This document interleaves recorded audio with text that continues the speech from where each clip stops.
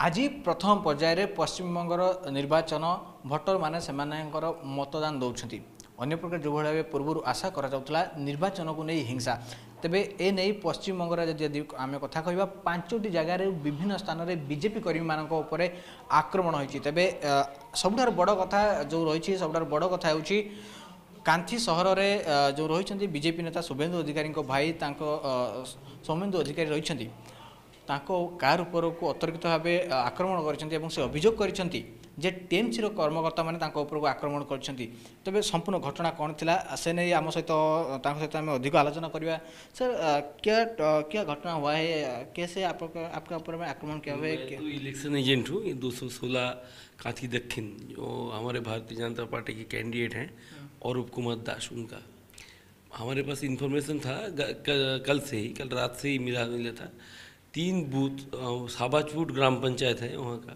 वहाँ का वो प्रधान जो है उनके हस्बैंड और ब्लॉक तृणमूल कांग्रेस के सभापति, एक ही व्यक्ति राम गोविंद दास।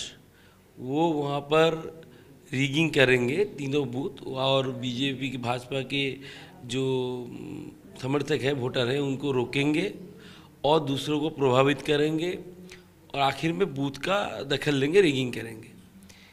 जब सुबह ये लोग प्लान बना रहे थे, हमारे पास इंफॉर्मेशन लगभग साढ़े दस बजे पहुँची तो मैं ग्यारह बजे तक वहाँ पर पहुँचा। मैं पहुँच पहुँचने के बाद बाहर गाड़ी रख के तो सावाजपुर हाई स्कूल है वहाँ पर मैं जब घुसा तो मेरे पीछे वो राम गोविंदो और उनके कुछ तृणमूल के गुंडों के, को लेके जान पंद्रह, सोलह लोग थे। स्लोगन देते हुए अंदर आए स्कूल के और मैं क्यों अंदर आया, इसके लिए हल्ला मचाने लगे।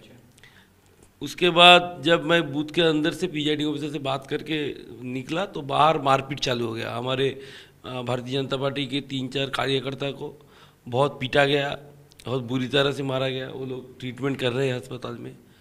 और उसके बाद ही मेरे जो गाड़ी बाहर था, मेरा ड्राइवर चाय दुकान पे एक रुका था, उनको मारने लगे एकदम अचानक से। उनको पहले मारा ड्राइवर को, फिर ड्राइवर को छोड़ा और पूरा गाड़ी एकदम तहस नहस कर दिया मेरा। क्यों कर रहे हैं ऐसे? हारेंगे डर से कर रहा है। मैं मेरे पहुँचने से हुआ उनका रीगिंग का जो प्लान था वो बर्बाद हो गया।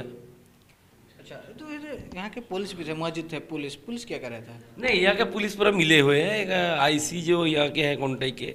यहाँ के एसडीपीओ यहाँ के एडिशनल एसपी ये सब तृणमूल के एकदम पार्टी के वर्कर की तरह काम कर रहे हैं। इनके पास से कोई नया विचार किसी को नहीं मिलेगा। मैं इलेक्शन कमीशन से गुहार लगाऊँगा कि इलेक्शन कमीशन ये विषय को देखे और अगले चरणों में जो चुनाव है और सात केंद्र है और नौ केंद्र है हमारे यहाँ पर मिला के टोटल सोलह पूर्व मेदिनीपुर में। आज सात वोट हो रहे हैं नौ बाकी हैं। और पूरे राज्य में भी ऐसे निर्वाचन हो जहाँ पर कोई डिस्टरबेंस कोई किसी के ऊपर हमला कोई बूथ जैम बूथ लूट ये सब ना हो पाए। एक प्रश्न आता है कि जो बोला है टीम सिंह बोला बहुत कुछ काज किया है डेवलपमेंट काज किया है तो दंगा क्यों है? दंगाबाजी क्या है? डेवलपमेंट किया है तो दंगा क्यों है? यही तो तो बात है। है। हाँ। क्यों है? इसकी ज़रूरत क्यों है? क्योंकि ये लोग काम नहीं किए ये लोग पंचायत की तरह ये वोट भी लूट करना चाहते थे। अच्छा। लेकिन तो वो हो नहीं पाए। पहले तो मतदाता इतने सचेतन है, इतने जागरूक हैं, वो लोग इस बार एकदम परिवर्तन के लिए ठान लिए हैं। परिवर्तन करेंगे ही। भाजपा को लाएँगे, कमल खिलाएँगे, एकदम।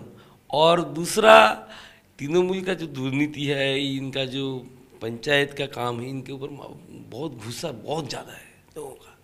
तो रहते हैं। दूसरी बात है कि केसीआर में बात बोलो कि यहाँ के बात बोलो सब जगह टीएमसी कर्मी ने बीजेपी को बीजेपी कर्मकर्ता को टारगेट कर रहा है। बीजेपी को क्यों टारगेट कर बीजेपी जीत रहा है इसलिए इसीलिए बीजेपी को टारगेट तो सीधा बात है तो सोजा कथा है देश कथा है सोजा कथा बीजेपी जीत रही है यहाँ।